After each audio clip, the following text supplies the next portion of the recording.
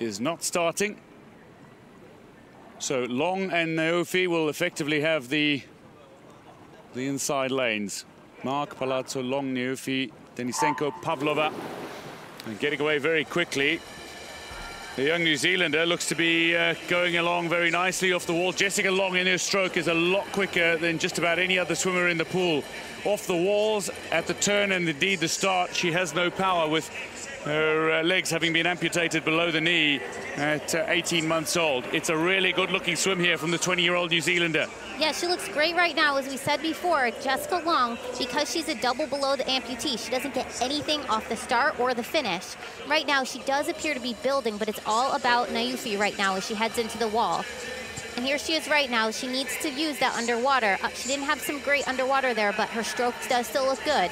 Well, this is a fantastic turnaround from uh, the New Zealander, born and raised in Auckland, somebody who was initially picked as a reserve for uh, the Paralympic Games in Rio 2016. Suddenly she was selected after uh, an injury withdrawal. She got the much needed experience. She is hoping that that experience will counter in good stead and be able to hold on for the victory here sprinting towards the wall. It's Denysenko is looking to close in lane in lane six and lane three. Jessica Long is also closing very fast in the stroke, but it is going to be Neiufi who is the champion. A superb swim from the silver medalist in the World Championships as she claims gold in the women's 100 meter backstroke S8 and taking it ahead of Denysenko who has the silver for Ukraine and settling for a 24th medal at the Paralympic Games. Jessica Long, an emotional moment for Neiufi.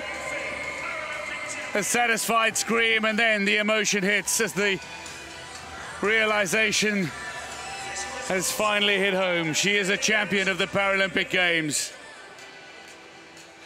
And to do it in front of some of her heroes is superb. It's a first race in the pool for Jessica Long somebody who is always trying to promote parasport, somebody who is a world and global ambassador, both in the pool and out for parasport.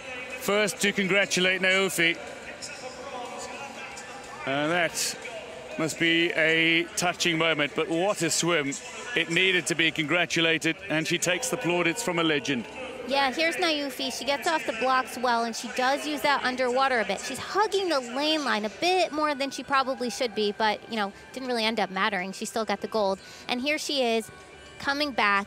Her head is looking very straight, and she does have clean water entry, and she's able to just hang on as there was a rapid descent from the other two coming into the finish somebody who's made massive sacrifices in her life to focus on swimming, and now it might just all seem worth it.